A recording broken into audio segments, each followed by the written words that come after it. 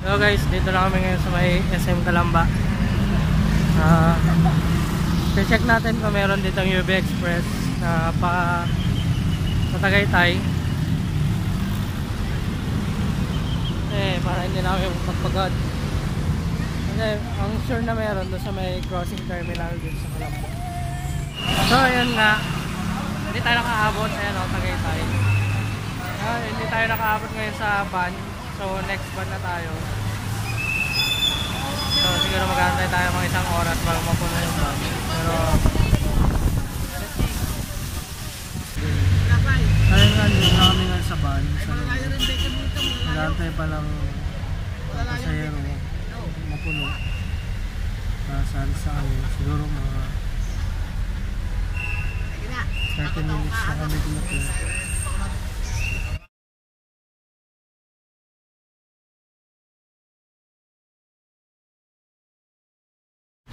Hello guys, uh, dito na tayo sa Tagaytay.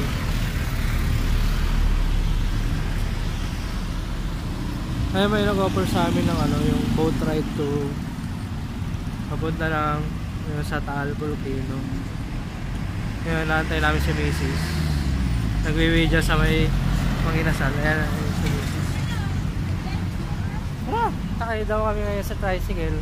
Mga 20 minutes ride. Papunta doon sa ano, sa pagsasakyan namin ng boat. So, ito yung ano, maybe first big adventure namin ni Mami since wedding. Uh, ang galing, you know.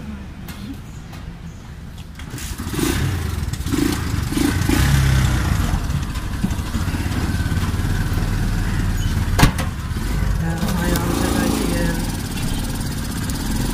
Tricycle ng Tagaytay. Actually, hindi pa naman siya masyadong malamig, pero mamaya daw malamig siya.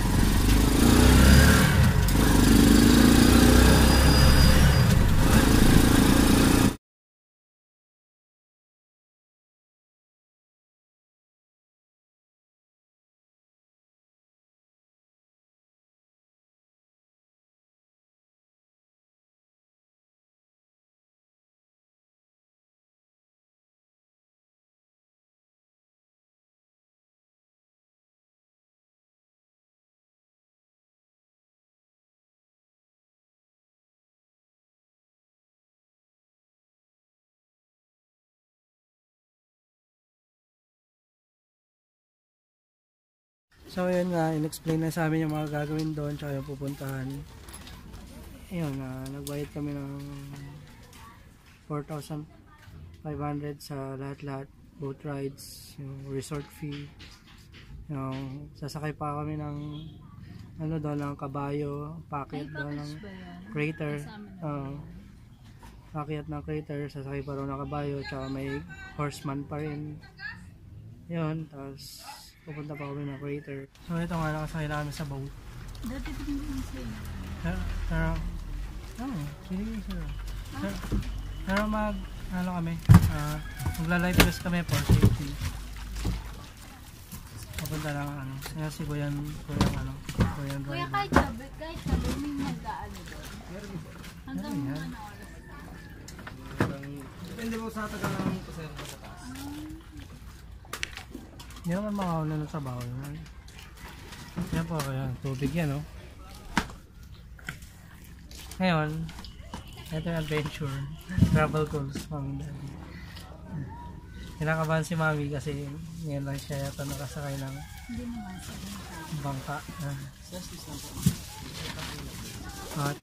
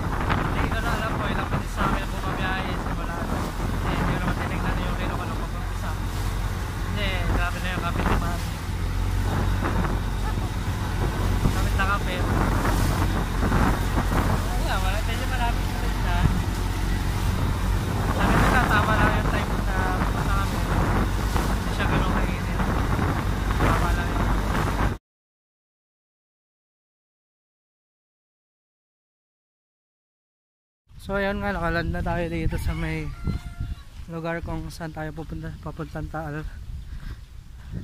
Ayun na yung ano, Tagaytay na yun. Oh. Yan, sasakay tayo sa sakay tayo sa horse. Sakay tayo sa horse. Sakay tayo sa horse. Yan.